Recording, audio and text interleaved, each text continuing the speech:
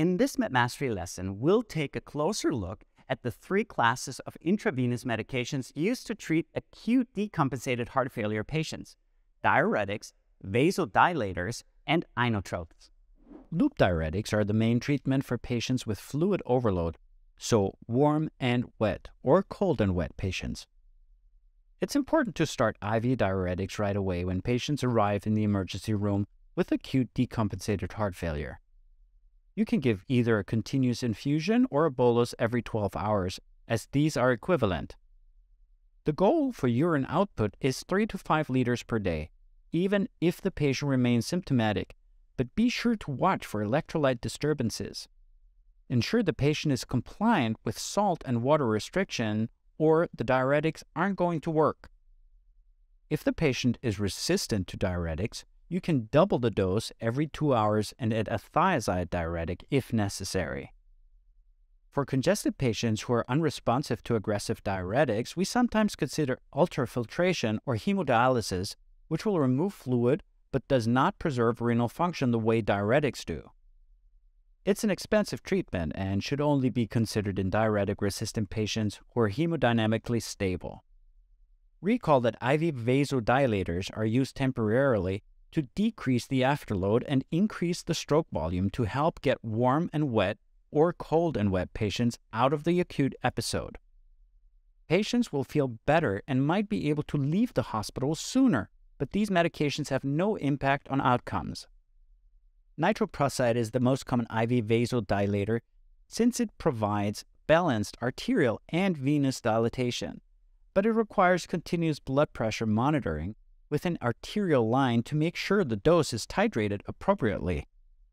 You also can't stop this medication abruptly because it will send patients right back into acute decompensated heart failure. Nitroglycerin is another option. It reduces left ventricular filling pressures primarily by venodilation and at higher doses lowers afterload. But it also requires invasive monitoring with an arterial line. Nesiritide doesn't require such careful dose titration, but it's more expensive. Clevidipine is a short-acting calcium channel blocker that works similarly to nitroprusside, but is less expensive. It also requires continuous invasive monitoring because calcium channel blockers can exacerbate heart failure if they cause too much negative inotropic effects.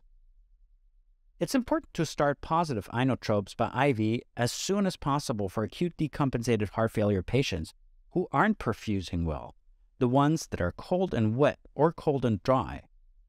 These medications increase contractility and vasodilation.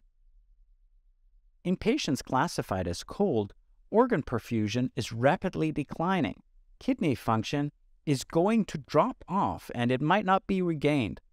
Kidney dysfunction is an especially big risk factor for mortality, so we want to preserve perfusion to the kidney for as long as possible.